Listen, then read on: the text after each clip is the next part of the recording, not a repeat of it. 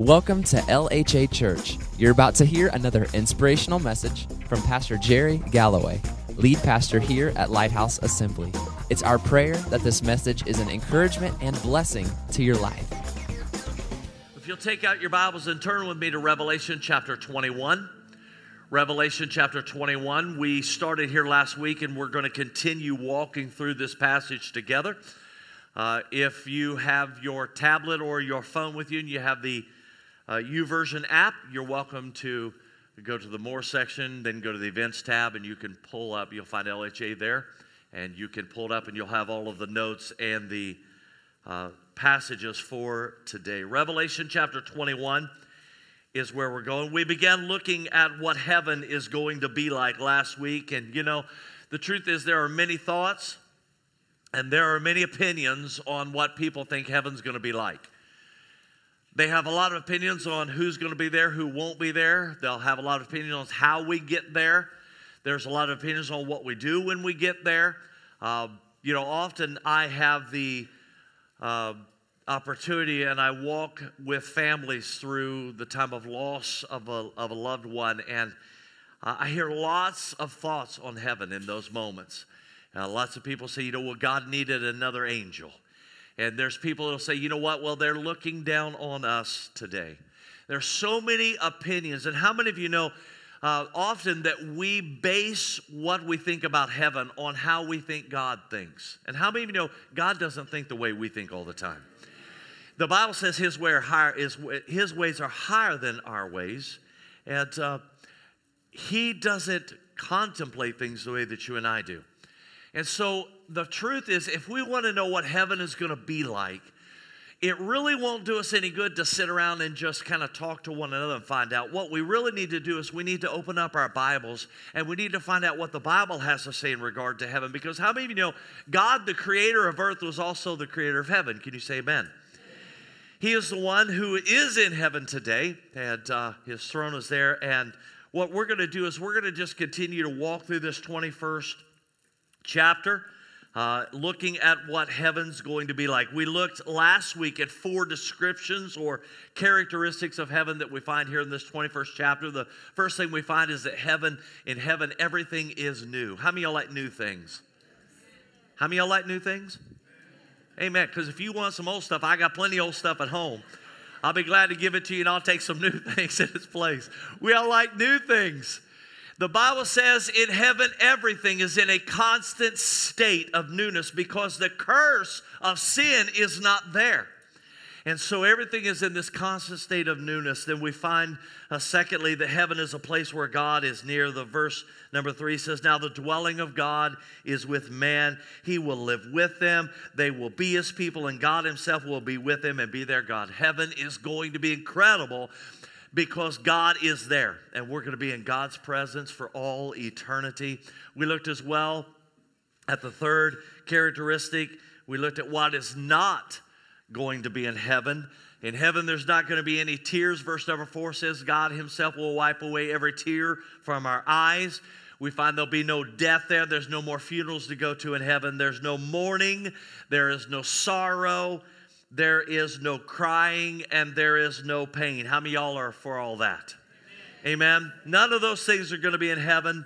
And then, fourthly, we closed last week by looking at the fact that, that truly not everyone is going to be in heaven. Verse number eight says, But the cowardly, the unbelieving, the vile, the murderers, the sexually immoral, those who practice magic arts, the idolaters, and all liars, their place will be in the fiery lake of burning sulfur uh, for this is the second death.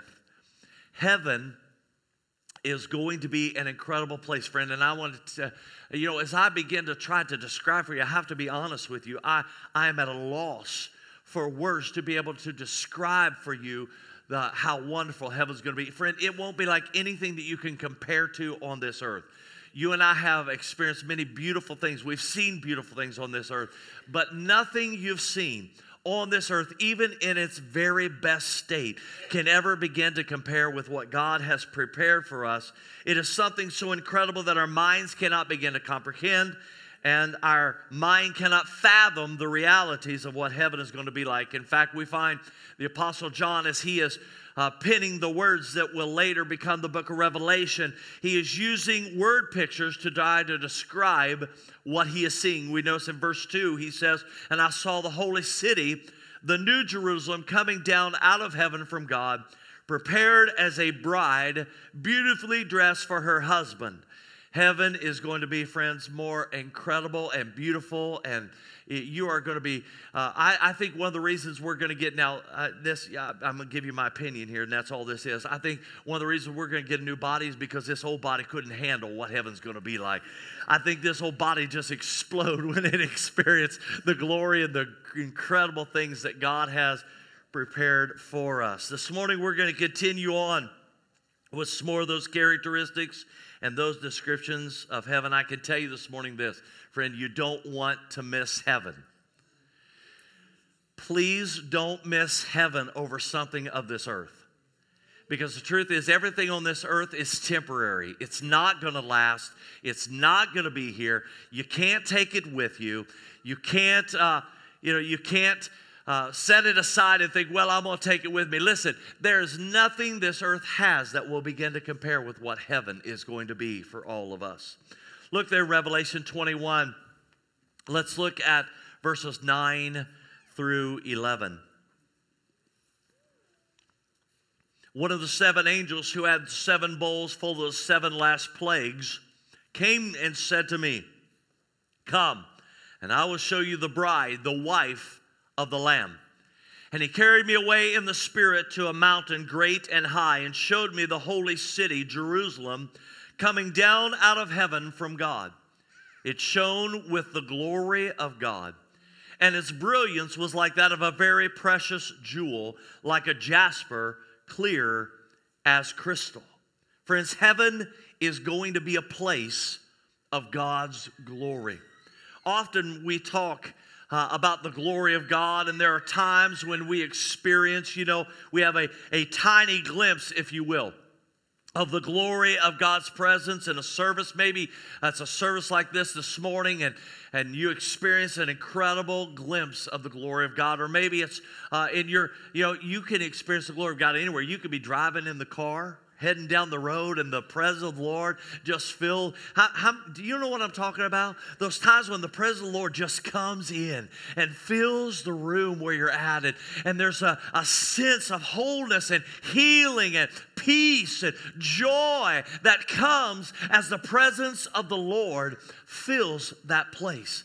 The truth is, throughout history, there have been times when men and women have been exposed to small amounts of God's glory, and it incredibly changed their lives forever. We know that the shepherds around the birth of Christ in Luke chapter 2 and verse 9, it says, And the angel of the Lord appeared to them, uh, and the glory of the Lord shone round about them, and they were terrified. They were awestruck. They, they didn't know what was going on because the glory of the Lord began to shine around them. Acts chapter 7 and verse 55 says, But Stephen, full of the Holy Spirit, looked up to heaven and he saw the glory of God and Jesus standing at the right hand of God.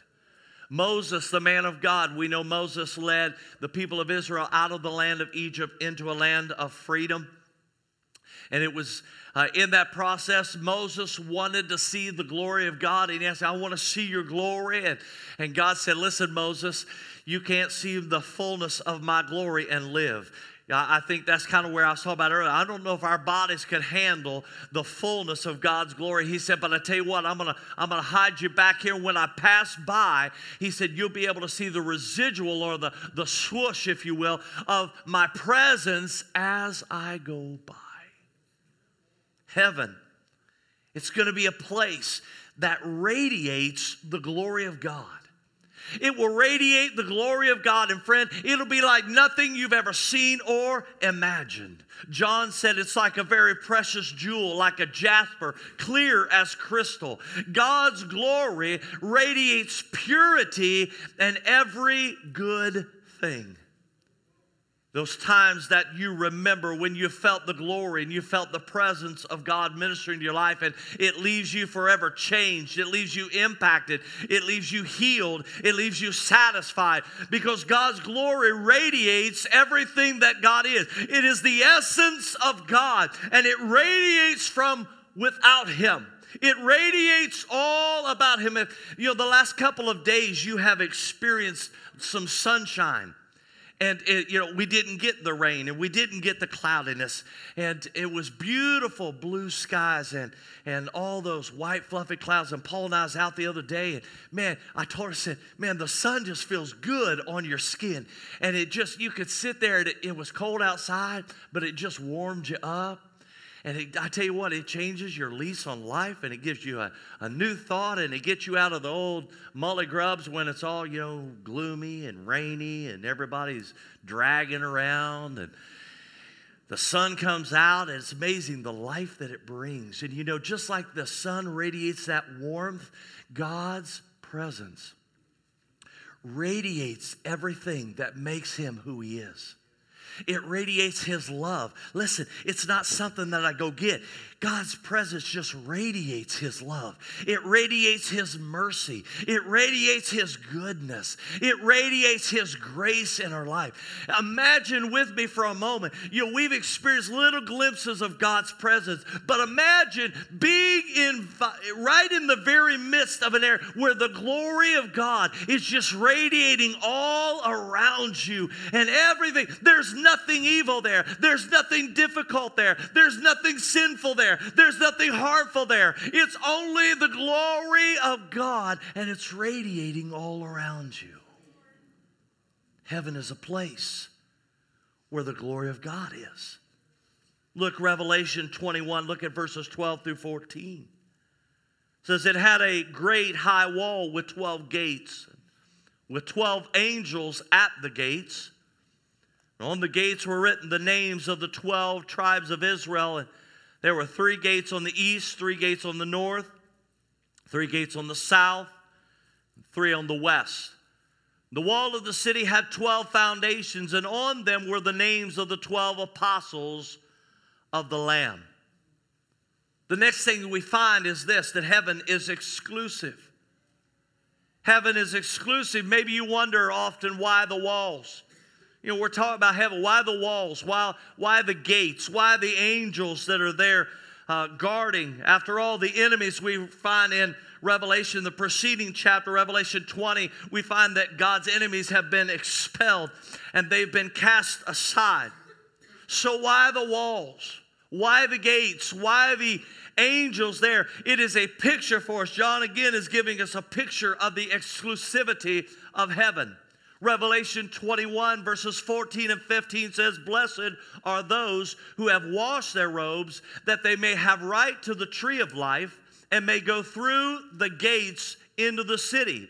Outside are the dogs. Now, that doesn't mean dogs in the natural sense, like you and I understand dogs. It is those who live their lives uh, in a very sinful, immoral way, uh, uh, almost to an animalistic uh, element.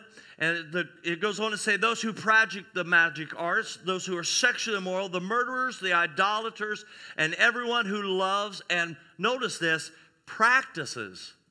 That stood out to me this week as I was going through that passage. Not only those who uh, lie, they love lying, and they practice. They live in a state of practicing falsehood. Heaven is exclusive. Truth is, we found that heaven is not for everyone. And even the Bible tells us not for most. The Bible says, Broad is the way that leads to destruction, and many are on that road. But narrow is the way that leads to eternal life, and a few are on that road. Friend, I can't tell you that the road of Christianity will be the most populated road. I can't tell you that it will be the easiest road. I can't tell you that it'll be the road that everybody will be on with you. But I can tell you this it's the only road that leads to heaven. It's the road, it's the narrow road, and it leads to eternal life in Jesus Christ. Friend, heaven is more exclusive than anything you've ever heard of. Exclusive meaning this having the power to prevent entrance having the power to prevent entrance. The reality of heaven stands against the modern philosophies of man that says there are many ways to heaven. Now, a key concept in understanding the exclusivity of heaven is the number one. Somebody say one. One. Take your finger and hold up one finger. It's the number one. A concept understanding it is the number one. There's only one way to heaven. There's not three roads or ten roads to get to heaven. There's only one road. Every person who's ever been in heaven or will ever be in heaven gets there the exact same way. There is only one way. Now, there are those who think they'll get there to heaven by being good and doing enough good works. Well, if I've done enough good things, surely then the Lord will let me into heaven. But Ephesians 2 8 and 9 answers that when it says, For it is by grace that you have been saved through faith, and this not of yourselves. It is the gift of God, not of works, so that no one can boast. Friends, the ground is level at the foot of the cross. There's no works that'll get you there. You can't earn heaven. There's only one way to heaven. Heaven is very exclusive. There's only one way there. Now, there are those who will say, you know what? I'm trusting in Muhammad. He'll get me there. Others will say, I'm trusting in the fact that I'm just a good person, and that'll get me there. Others are saying there are many roads and many faiths, but they all lead to heaven. But I would remind you of the words of Acts chapter 4 and verse 12. Salvation Salvation is found in no one else. There is no other name under heaven given to men by which we must be saved. Heaven, heaven is exclusive, friends. There's only one way to get there. There's only one path to get there. Jesus said, I'm the gate. And in John 14, he said, Nobody comes to the Father except through me. You don't go through the church to get to heaven. You don't go through a man to get to heaven. You go through the Son of God who gave his life on Calvary's cross. He's the only one that'll get you to heaven. He is the way, He is the truth, and He is the life. For those who think, well, I'm a good person, I've been a good neighbor, I've been a good worker, I've been a good husband, I've been a good wife, surely that the Lord will look on those things and allow me into heaven. But, friend, that's not in the Bible. That's the problem with that philosophy. It's not in the Bible. There's only one way. There's only one way. And this life, there's one way, and this life is your one chance to prepare for eternity. If today is your last day on this earth, then today is your last chance to choose Jesus Christ and allow Him to make you ready for heaven. Hebrews 9 and verse 27 says, And just as each person is destined to die once, and after that comes the judgment. Friend, this is your one chance, just once, only one life. So soon it'll pass. How many of you have found in your life life's going quick?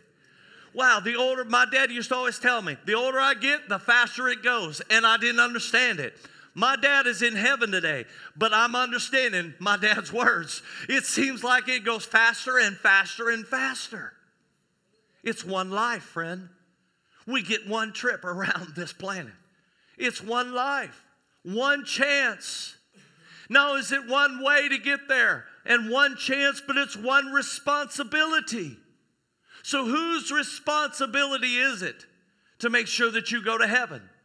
Is it the preacher's? Is it your spouse? Is it your family member? Is it your mama and your daddy? Whose responsibility is it? Kids, is it mom and dad's responsibility to make sure that you get to heaven? The truth is, friend, you and I can't ride on somebody else's coattails. You may say, well, you know what? My parents did this when I was a kid, or they did that as when I was a kid to get me ready for heaven. But, friend, that doesn't have anything to do with your will. The time comes in all of our lives, we've got to yield our will to the will of Jesus Christ. And we've got to say with all of our heart, I know He is the Savior of the world, and I need Him today.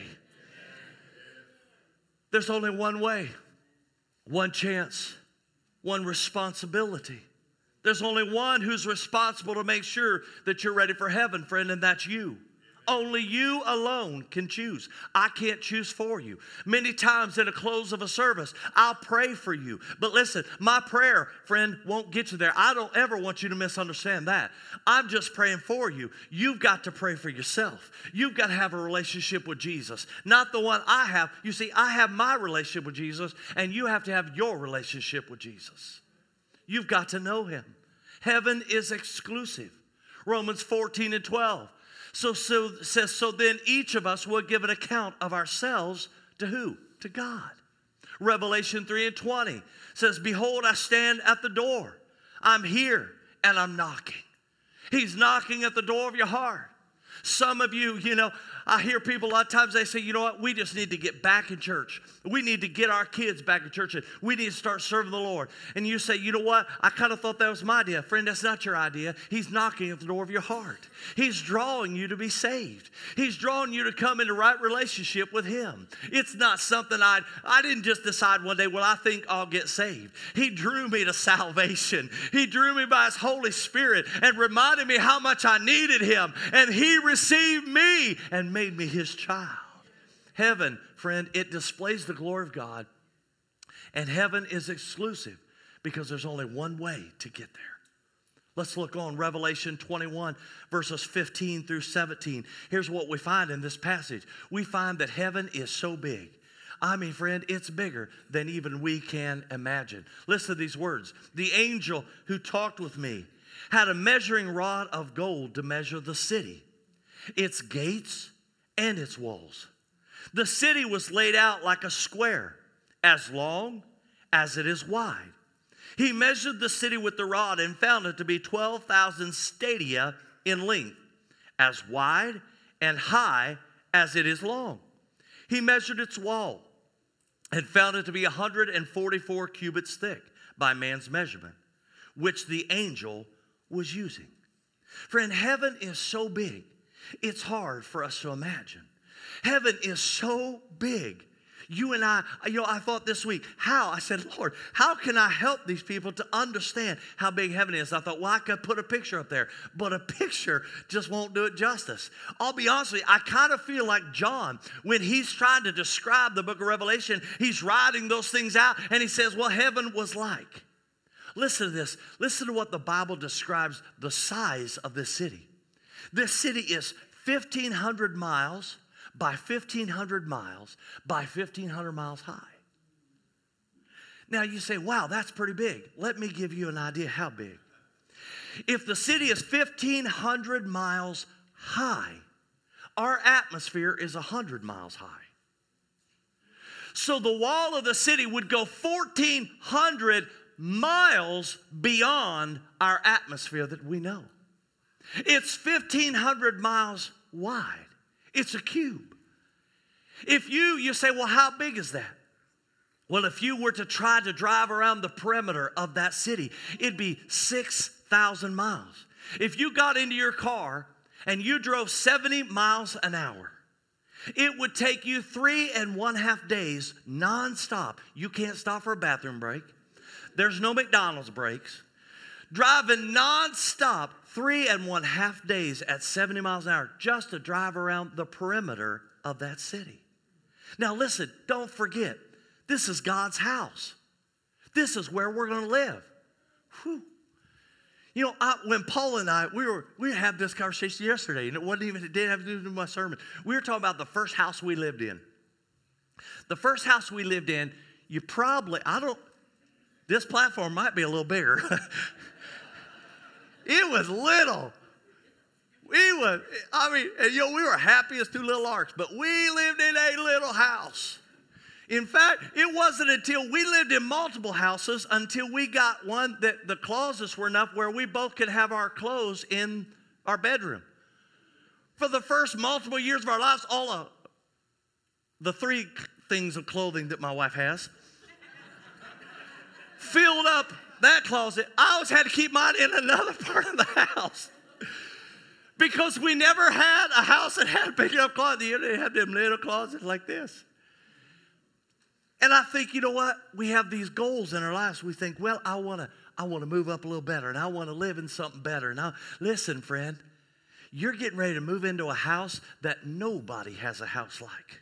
You're getting ready to move into a house that is so big. Listen, you hear people say, Well, yeah, I live in a house and it's so many square feet and it's got this and it's got a this guy, you know, this size, a big TV on the wall, and we've got this kind. And every guy, you know, dreams of four or five car garages and, and all those wonderful things. And Listen, you're getting ready to move into a house, my friend, that is so big, nobody's ever imagined it, nobody's dreamed it up. It's so big that it was created by the hand of God, it's created in the mind of God, it's created in the heart of God. And listen, He's not just doing it, He's preparing it for His people because Jesus said in John 14, I'm going to prepare a place for you. And if I go and prepare a place for you, he said, I'm going to come again and I'm going to receive you unto myself, that where I am, there you can be also.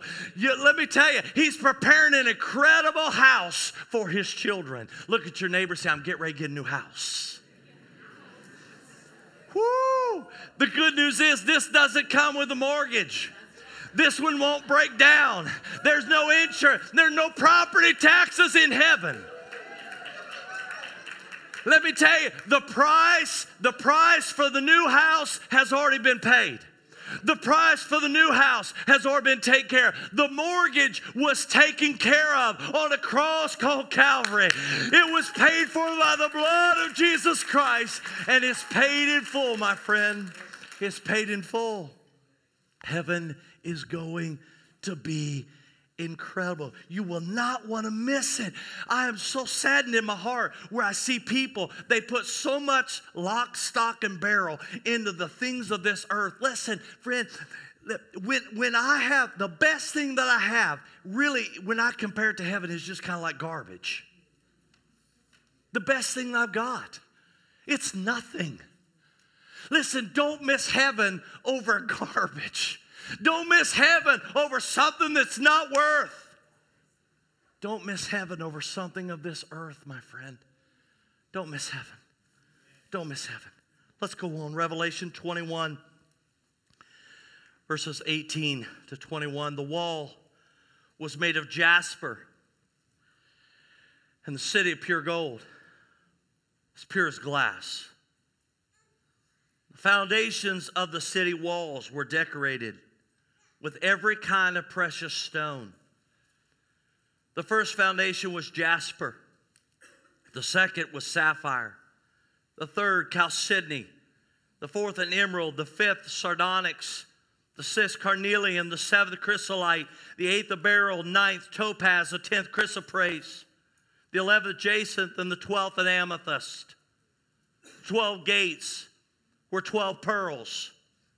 Each gate, ladies, each gate made of a single pearl. The great street of the city was pure gold, like transparent glass. I saw this week, I was reading, and it was a story about a man who on this earth had, a, had gotten a, amassed an unbelievable amount of money. He was known as a very wealthy man. And he was bothered by the fact there would be a day when he would die and everything that he had acquired and worked for would be left behind for his kids and everybody else to fight over. So he said, God, there's got to be some way. I've worked so hard, there's got to be some way I can take some of this with me. And the Lord said, No, no, no, no, no, no, no. Can't do that. And this guy persistently kept asking, Lord, I just want to take some of this stuff with me. I've worked so hard for it. God, you know the blood, sweat, and tears that I gave to earn this. And Lord, I just like to be able to take. And one day the Lord said, finally, you can take one suitcase. Whatever you can fit in a suitcase, you can take that one suitcase with you. And because the guy thought hard and long. what can I fit into a suitcase that I can take with me? And he thought, you know what? I'll cash in some of my money and I'll buy gold and he said, I'll fill that suitcase up with gold because that will represent the majority of my wealth. So the man died. And when he died, he went to the pearly gates. And he got there and he had his suitcase, and St. Peter said, Brother, he said, You're not allowed to bring anything with you. He said, No, no, no, no, no. No, God I have this understanding Me and the Lord talked, and the Lord said I could bring a suitcase full. And Peter said, Hang on a minute. So Peter went inside the gates to check and see if the store was right. Came back out. He said, Well, your store's been verified. You can come on. He said, By the way, he said, What did you bring? And the guy opened up suitcase and he said, Look at all this gold I brought. And Peter looked at him and said, We were needing more pavement. the Bible says we're going to walk on streets of gold. Streets of gold that's like transparent glass. Now, you ladies, I'm sure most of you ladies like jewelry. I can take my wife to a jewelry store and it'll be the best day of her life. She loves to look at jewelry. We often go to Sam's Club. And when we go to Sam's Club, if you've been there, it's a big place. And so when I get to Sam's Club, I kind of have in my mind, I've got to get this, this, this, this, and this, and then we'll head right out the door. Well, we get right inside the door and it's the jewelry counter. Now, my wife sees that jewelry counter every time we go in. She most likely has it memorized what's in the case, and if they've moved, if they moved it, she knows it. She loves, but you know, she'll stand there at that jewelry case and look at ones, and I mean, they're little. They're little. Listen, the Bible says the foundation. This city that's 1,500 miles by 1,500 miles by 1,500 miles by 1,500 miles, the foundation. Excuse me, the foundation is going to be those precious jewels. I think the ladies are going to like heaven. Now imagine with me for a moment, if you will, all of that beauty. Now imagine with me for a moment the glory of God radiating the glory of God radiating through all of those things. Friend, heaven is going to be more beautiful than your mind can imagine or begin to comprehend. The human mind doesn't have the ability to comprehend all the things that God has prepared. The 12 gates around the city, each gate made of a single pearl. Wow.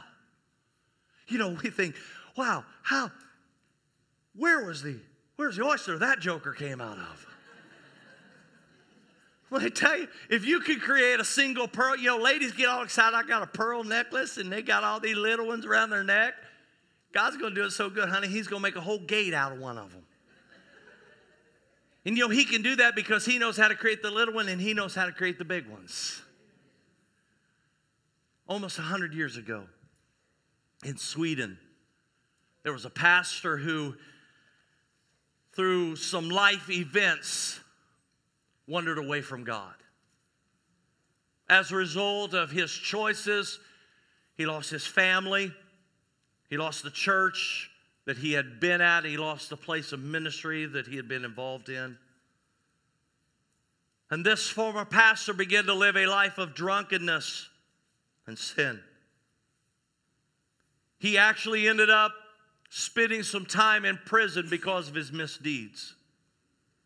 Throughout his time while being incarcerated, he wrote in a journal these words I drifted from God, and I became so embittered with myself and the world, and all the people who looked on me with suspicion. Somehow, in that state, God broke through. Aren't you glad God can break through? Somehow in that state, God broke through and He touched my heart so that I called out to the Lord for forgiveness. As a result of that experience, he wrote the words that later became a song that many of you know. Like a dove when hunted, Frightened as a wounded fawn was I. Broken hearted, yet he healed me. He will heed the sinner's cry. Love so divine, so great, so wondrous, all my sins he then forgave. I will sing his praise forever for his blood, his power to save. The words go on, he, the pearly gates will open so that I may enter in. For he purchased my redemption and forgave me all my sin. Friend, you and I can experience the same redemption and know that He will admit us through the gates of heaven. If you have chosen Jesus Christ as your Savior, the message about uh, where we're going, the things we're talking about in heaven will only cause a spirit of excitement and anticipation in your life. But, friend, if you don't know Jesus, when we begin to talk about death and we begin to talk about heaven, we begin to talk about eternity, there's a nervousness and a quivering that fills our hearts. You've sat in services as like I, experienced the conviction of the Holy Spirit, and it seems that as the preacher would speak, your heart would beat faster and faster and faster.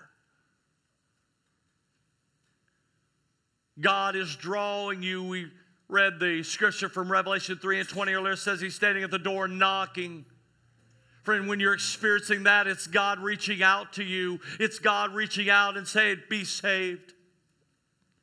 The Bible says God desires that none would perish, but that all would come to repentance in Jesus Christ. God's desire, friend, is that all of us would be saved. God's desire is that every person in this room, every person outside of this room, would know Jesus Christ as Savior and Lord. But the truth is, this world that you and I live in, it's pretty messed up, isn't it? It's a mess.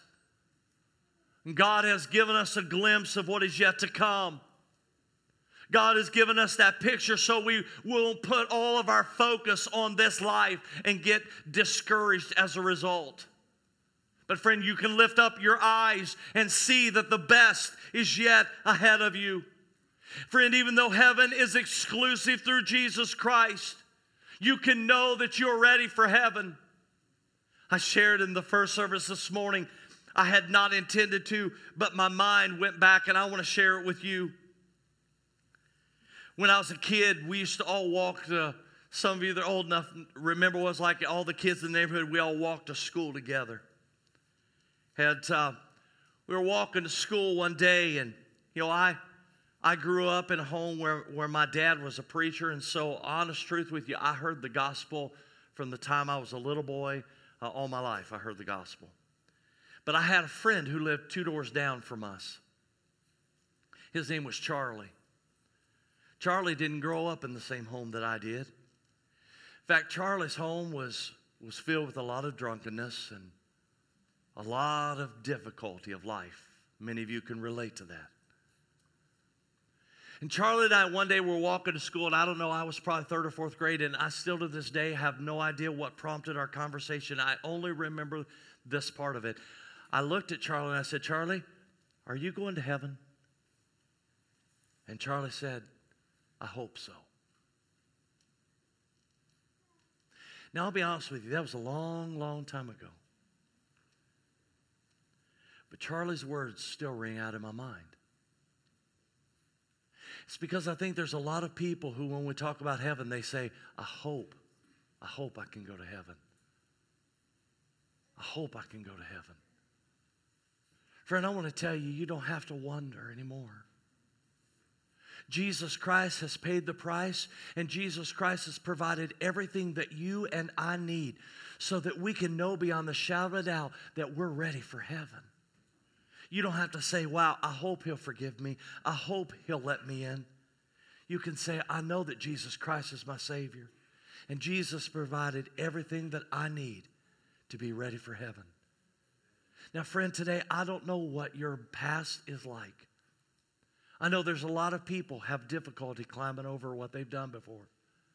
They say, "Yeah, but Pastor, God can't forgive me because God knows all that I've done." Friend, I don't know what all you've done, but you're right, He does. And He's able to forgive that. There's nothing you've done He can't forgive. There's no past He can't redeem, no life He can't turn around. Because you see, that's the power of the gospel of Jesus Christ. Friend, Jesus Christ can turn your life around. And today, when you walk out the back doors of this room, you don't have to walk out going, man, if heaven were to call my name today, I hope I'm ready. But you can walk out and say, you know what? I know. I can't wait to get to heaven. Heaven's going to be so incredible.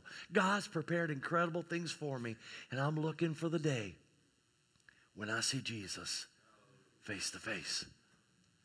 You know what? I want to tell something to you.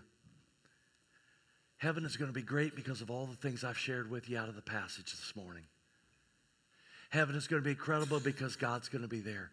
But you know, God does something really incredible in His grace and mercy. Many of you have loved ones who have gone on before, and they're already there. And God, in His grace and mercy, you know what He gets to do? He's going to let us be with them for all eternity. Some of you have spent a short time with them on this earth. And when you look back at it, you go, man, that time went so fast. I can't wait to see my dad. My grandparents are there.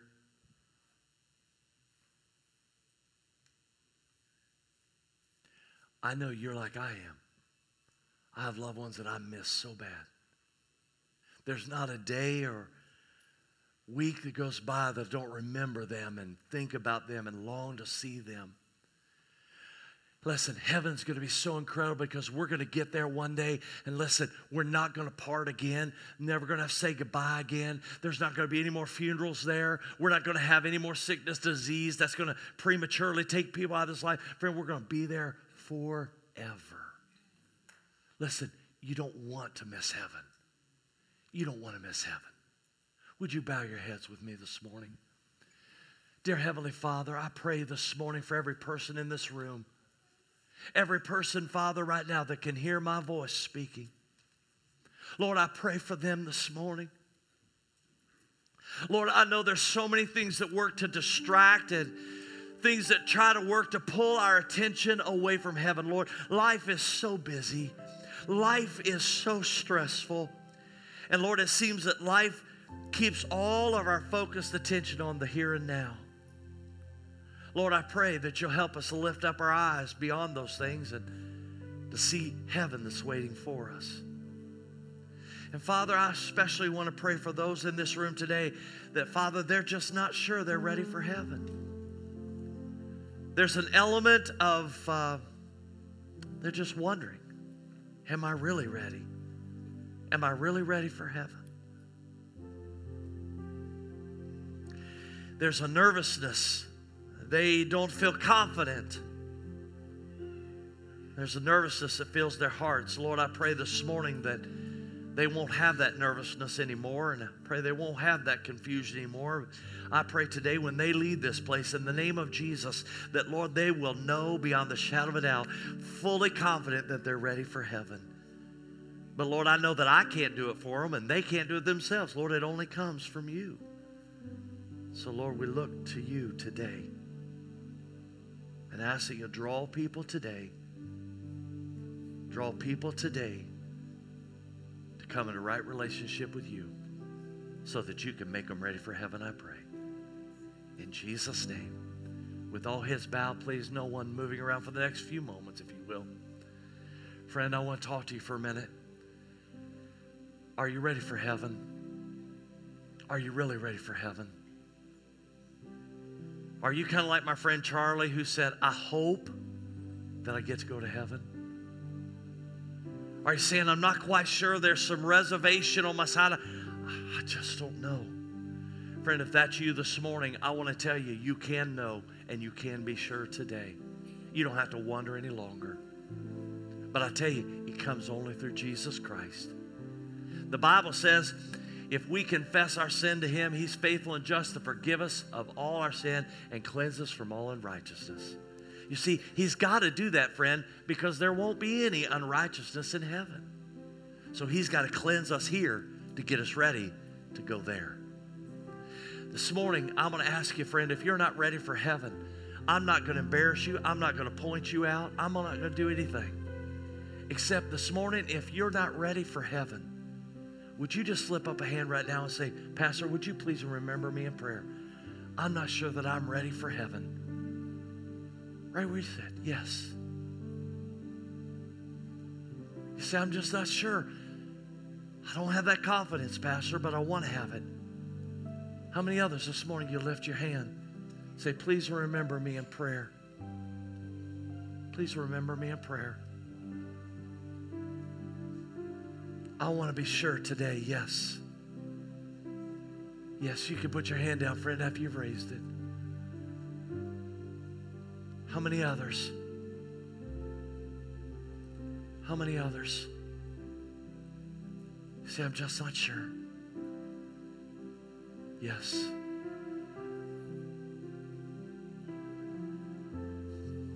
Jesus loves you so much.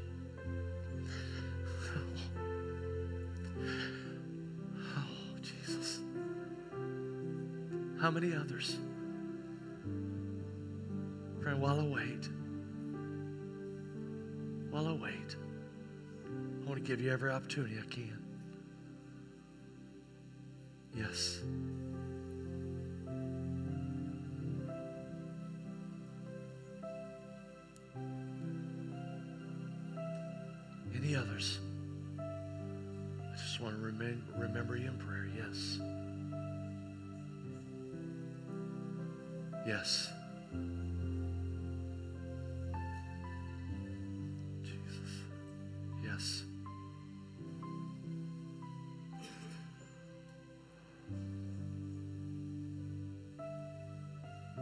Okay, friend, I'm going to pray. I have to tell you something before I pray with your heads bowed. Listen, I'm going to pray for you, but my prayer won't won't get it. I need you to talk to him right where you're at. You say, "What do I say?" Listen, friends, easy as this. Lord Jesus, would you forgive me my sin?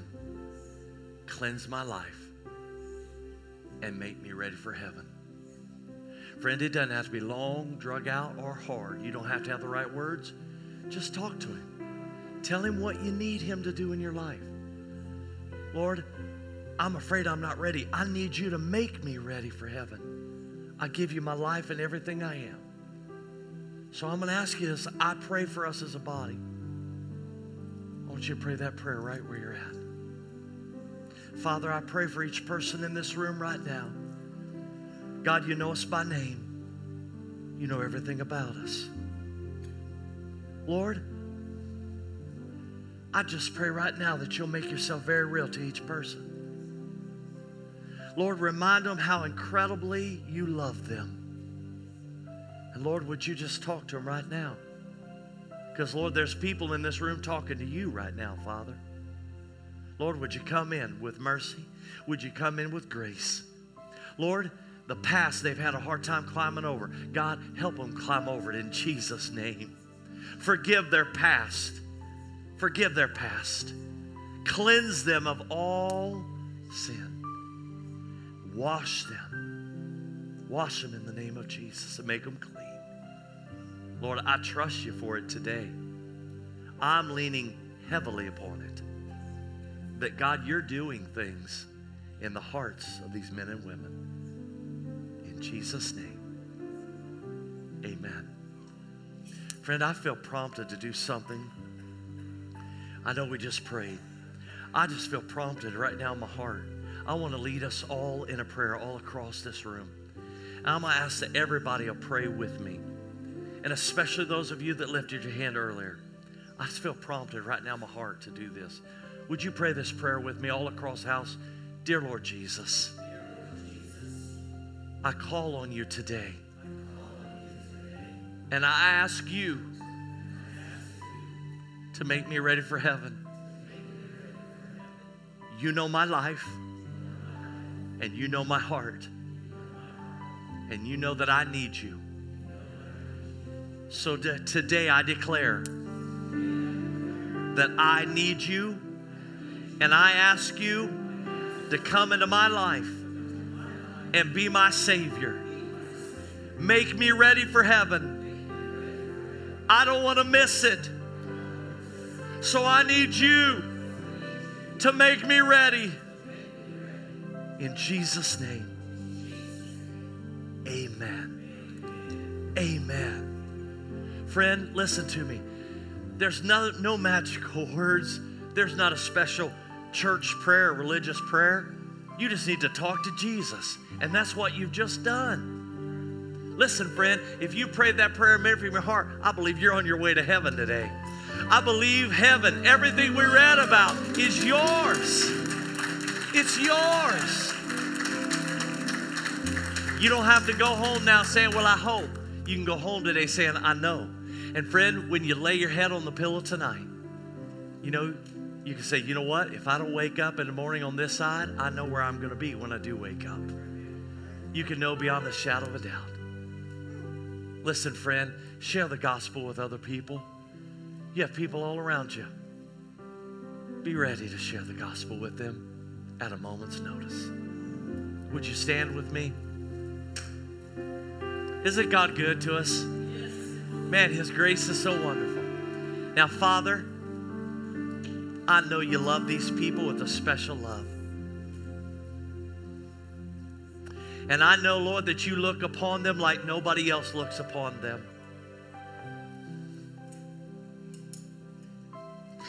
You look on them because they're the apple of your eye. You're so proud of them. You love them so much. You desire to pour good things into their lives. I pray, God, you'll give them everything they need for living this life in you. Father, would you even give them the desires of their hearts? Lord, as we live our lives to honor you in all ways. Lord, would you bless them? Would you keep them? God, I pray you'll give them a, an incredible afternoon and evening. Lord, I pray, God, life is so busy. Lord, would you just give these people a really good night of rest? Lord, your word says you give your beloved rest, and these are your beloved. So, Lord, I pray they'll sleep like a little baby. I pray, God, you'll refresh them, renew them in their body, their mind, and their spirit. And Lord, will you just continue to be good every day in their life, I pray. And I thank you for all these things. In Jesus' name, amen and amen. God bless you all. We love you. Have a great week. May the joy of the Lord always be your strength. God bless you.